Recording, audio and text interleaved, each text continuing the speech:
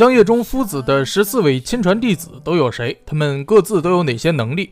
书院十二先生陈皮皮，道门新一代最天才的人物，知守观观主的亲生儿子，道门天下行走耶稣的师弟，乐天而知命，是世间最年轻的知命境。母亲是六百年前南海光明大神官一脉的后人。陈皮皮从小生活在知守观，被视为道门的未来。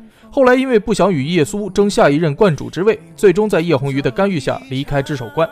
在书院的入院试中拿了六科甲上，是书院数百年来最好的成绩，从此成为夫子的第十二位亲传弟子。宁缺被朱雀袭击后命在旦夕，陈皮皮在关键时刻给宁缺吃下通天丸，帮宁缺重铸了气海雪山，使其正式迈入修行之路。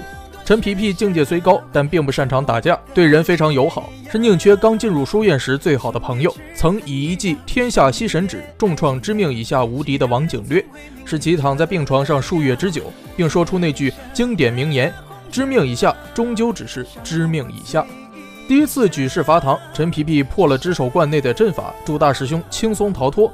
桃山光明记，陈皮皮被当作昊天重返神国的祭品。最后，在书院的计划下，陈皮皮被唐小唐救出，背着逃出桃山。后来，两人一同到临康城，和被废的师兄叶苏一起传教。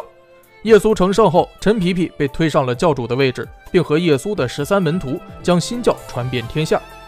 书院十三先生宁缺，江夜世界的唯一穿越者，昊天世界生而知之之人，世间唯一一个继承了小师叔浩然气之人。书院新一代天下行走，性格冷血、无耻、自私，因为幼年经历苦难和看尽人性卑劣而薄情寡义，但在加入书院后，渐渐融入了书院的温情之中。原本是一个无法修行的废材。后来在机缘巧合下迈入修行行列，在与隆庆的争夺中胜出，并拜入书院后山，成为夫子第十三位亲传弟子。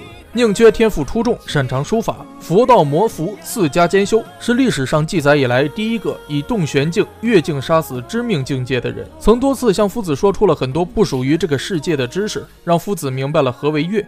在夫子登天化月的过程中扮演重要角色。夫子登天后，主动扛起帮大唐对抗西陵的大旗。